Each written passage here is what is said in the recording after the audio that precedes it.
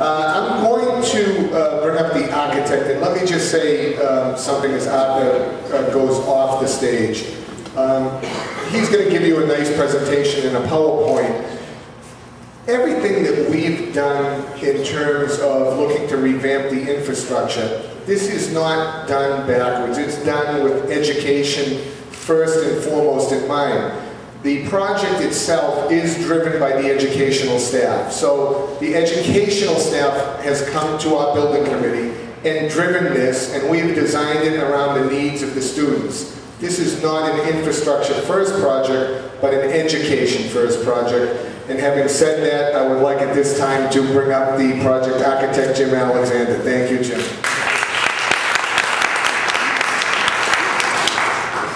Oh, Thank you all much for inviting me here. I feel like the pressure is really on after these excellent presentations and, and the goals that have been established.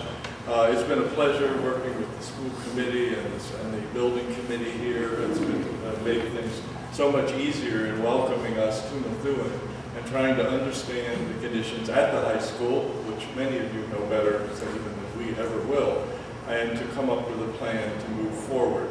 I did want to thank one person here from my staff, Nancy Goodwin, who's been with us throughout as a principal. Just to raise your hand, Nancy. Uh,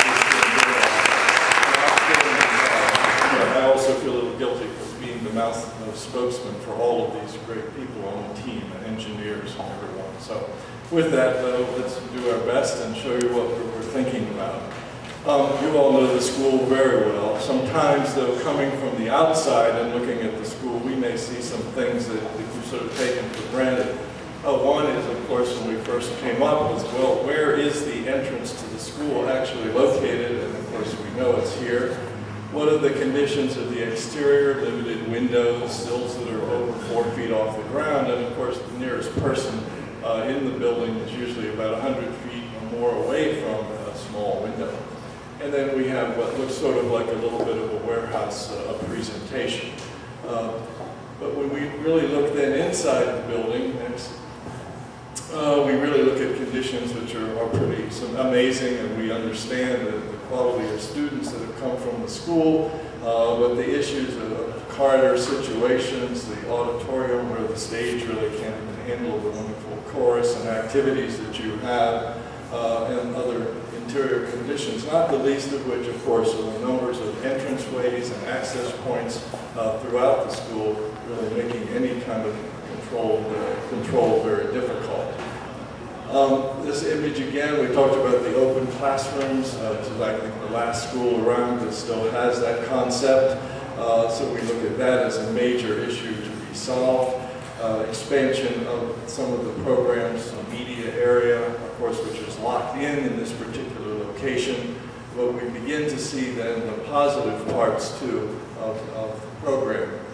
The challenges though for us as architects really is to look at the fact that the classrooms, such as they are, the open classrooms, still have very limited light and views. The egress is not really code compliant. We're not nearly up to standards with universal accessibility. Um, and as I mentioned, one of the interesting things about the dimensions, if you look at the width of the high school, 175 feet, think of a normal apartment building with a corridor and apartments on both sides. This is three times, more than three times as wide as a normal apartment building. So in terms of, of energy efficiency, bringing in light and ventilation, this is a real challenge. Uh, of course, we mentioned, um, Arthur mentioned the problem with accreditation, which will be deficient situation. But the big question for us was, can the building really be made to meet current architectural, current educational standards? Can we accommodate a program? I think the good news here, there are several very strong things about the building. It is structurally in very good shape, of sound construction. It has been wonderfully maintained by, by you, the citizens. Um, the grid works very well for classrooms, and the big news really is that 82% of the building we feel can be reused for a contemporary classroom program, educational program. It lends itself to phasing, uh, which you see, will see. In fact, one of the interesting things, and this is where I think Methuen is, is really such a unique community in, in the history of sort of architects, uh, that you have such a great legacy of wonderful buildings in were, that were built by great families who passed them on to all of us. Uh, so we really look at this project as a chance to do that. Uh, it was a 1970s modernist building, and we know those are kind of hard to love sometimes. Uh, but we're hoping that the things we do will really make this a building that you'll be proud of for generations. So it is also effective and sustainable. Um, when we looked at alternatives, it wasn't just, oh, let's come up with a bright idea, let's go build it. Uh, the Mass Building Authority, the School Building Authority is very thorough. We must look at alternatives. So in the educational program that we were given, there are some very clear guidelines. One is to really focus the educational program uh, more closely on smaller units. So the idea that there will be a two-house system for the 9th and 10th grade, 11th and 12th grades. So they're broken down into smaller educational components. Of course, we, studies have shown that daylight and views not only reduce energy consumption, they do contribute to education. We need a major expansion of the science program that would be central to both the upper and lower houses. Course, the need to deal with the special ed programs, tech, all of the music and art programs, all of these things have been well worked out with the building committee.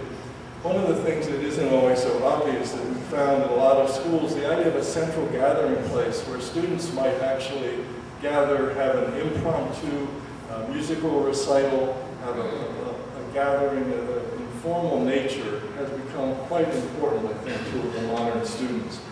Centralized teaching, we have focused on classrooms that are just slightly uh, in the state guidelines, slightly smaller, so we have a reserved area for teacher preparation, where teachers can work. And we wanted to really get a new identity to express the excitement of the school.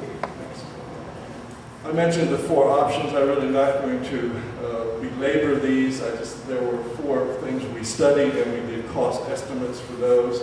And the next image is just showing you how we came to the conclusion for the, the scheme that I'm going to show you.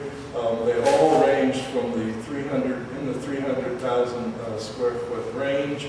Uh, the current program is for 370,000 square feet, which is the largest, the, the smallest rather, of the programs we looked at. Cost-wise, they also range from $94 million to the current proposal of 75 and a half uh, million. So we have chosen, I think, a cost-effective but also a pretty exciting scheme. Next. And these are the issues we were looking at before. I think uh, these are the things that we tried to solve, and let me show you how we've done it. The idea is the new addition would occupy the space, call the school, this is where the, of course, the auditorium, entry, corridor is. We looked at a scheme which kept all of those spaces, but unfortunately it was the largest, least efficient scheme. So the idea is to put the new addition here, demolishing the existing auditorium and that wing, uh, and allowing us little impact now on the rest of the site. Um, the next image shows how this begins to work. One of the very fortunate things that we found out is that this block of the school, remember now the, uh, the food service is here, is in the middle, was adequate to take all of the classroom and administrative spaces. So we were able to redevelop this block, which we'll just refer to as the classroom block, um, so that the lower house is on one side, the upper house and VOTEC on the other.